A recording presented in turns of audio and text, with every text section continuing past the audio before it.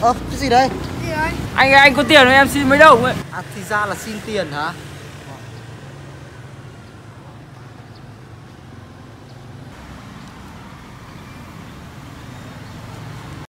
ra xã hội làm ăn bươn trải.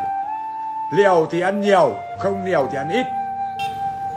Muốn thành công thì phải chấp nhận trải qua đắng cay ngọt bùi làm ăn muốn kiếm được tiền phải chấp nhận mạo hiểm nguy hiểm một tí nhưng trong tầm kiểm soát anh hiểu chưa? Hội này chỉ có làm chịu khó cần cù thì bù siêng năng chỉ có làm thì mới có ăn. Những cái loại không làm mà đòi có ăn thì ăn đầu buổi nhá ăn cứt.